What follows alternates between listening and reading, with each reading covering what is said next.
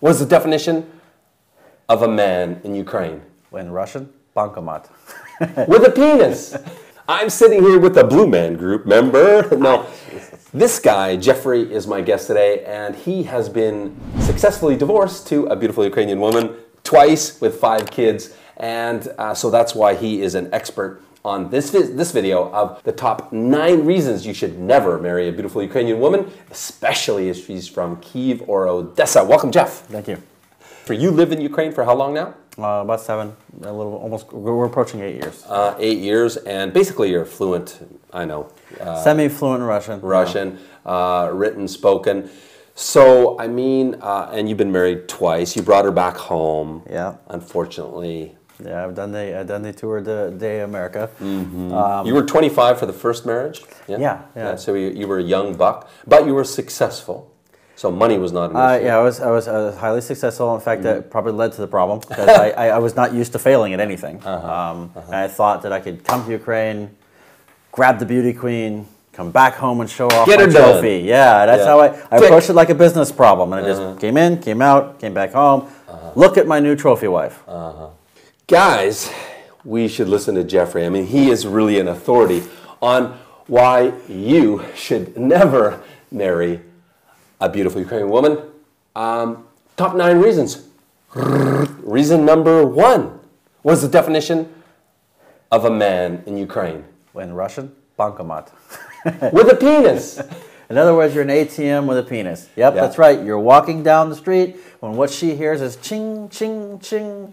Yeah, no, really, guys, it's really true. Uh, there's a, a joke amongst women in Ukraine the definition of man is an ATM or a bankomat, as they call, with a penis.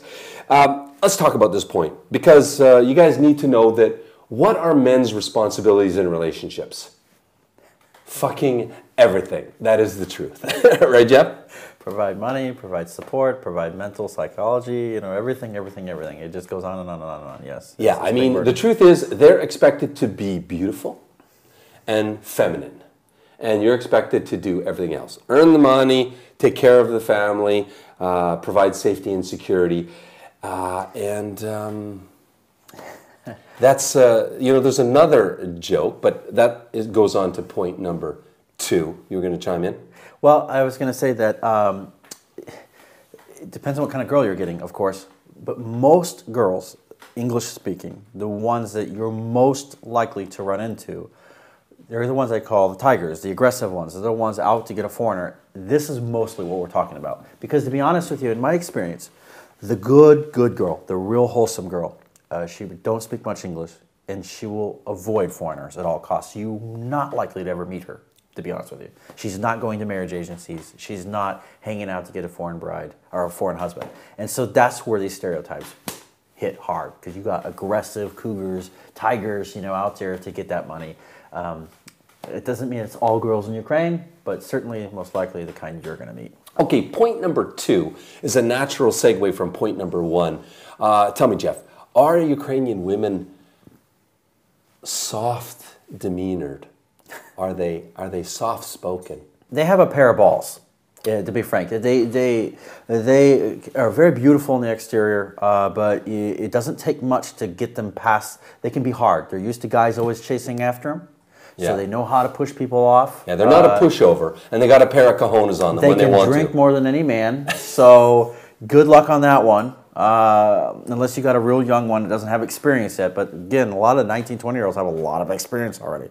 So you, uh, they uh, can be hot headed very easily. And, and, and, that's part of the culture clash too. But there's a phenomenon here that I've observed over the last seven years. Uh, Ukrainian women can just freak out.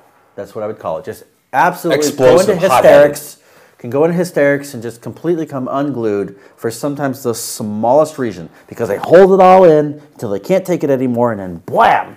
And the guys here are used to it. They just say, ah, don't worry about it. Yeah. They just let it roll off, but that's not usually our nature from Western society when we encounter that. And uh, you're spot on, and this is a huge tip, guys. You you gotta be, you know, a rock with a Ukrainian woman. They look for the man to be a rock, and Ukrainian men are rocks, meaning uh, they can, you know, fly off the handle, get you know, uh, hot-headed, flying off the handle, um, and you're expected to just be the fucking rock. You know, Take don't it. over. You have to take the abuse, it. really. Take it like a man. Don't uh, don't react. Don't add fuel to the fire. Let's have a, a a segue here for a second. The reason we're ragging on Kiev or Odessa, why? Because you know, glam girls. It's the headquarters of glam girls. Stay the fuck away from Odessa because they're just going to eat you up and spit you out.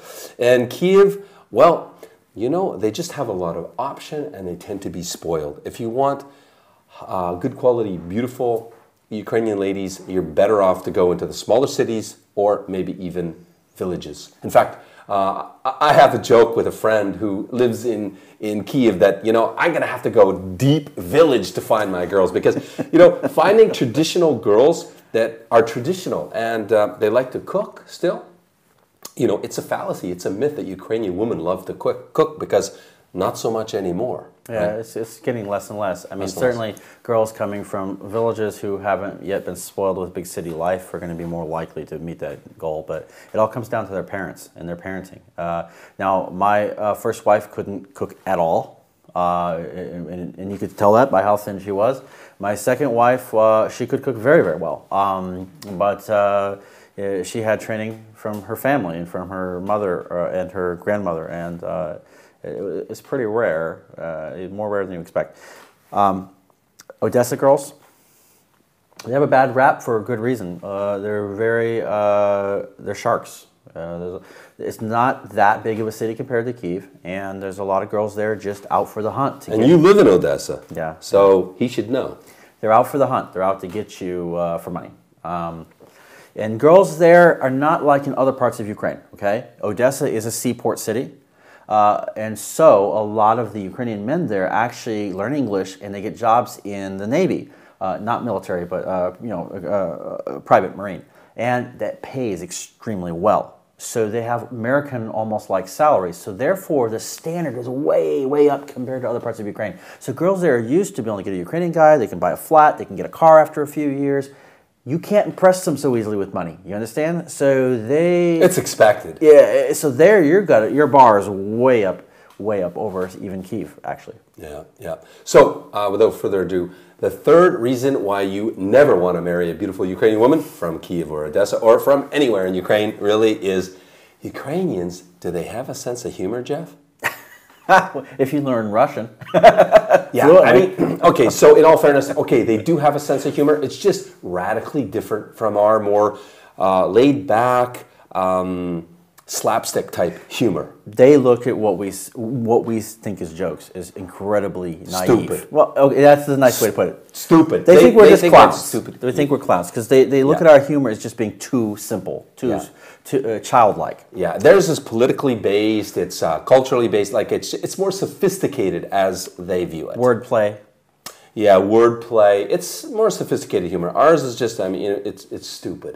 Uh, they don't find it humorous. So there is there is a mismatch when it comes to humor in this relationship. So just be aware of that, and you need to do your best to try to have humor together because. Uh, I, I've had plenty of dates and situations, uh, meeting girls where I was being funny and they laughed at me. I, yeah, I said that right. They were laughing at me, not with me. the blue hair, maybe. No. uh, but that certainly doesn't help any, right? Um, but they would laugh at me, and I didn't realize. I thought they were laughing with me. But they, they and they would tell me, "Oh, you're so cute, you're so funny." But for them, it was like, you know, when you invite a clown to a party. Uh-huh. So they're laughing at you, not with you. Yeah, and it, especially if you're trying to use Russian and you do it very badly, you know, that's going to give humor. But they'll at least appreciate that far more than they will if it's uh, usual American humor, for example. Hey guys, we're going to be back with the fourth uh, through the ninth reason why you never want to marry a beautiful Ukrainian woman, especially from Kiev or Odessa, in just a moment. So click on the video link in the description below this video to see the fourth reason through to the ninth reason. See you guys soon.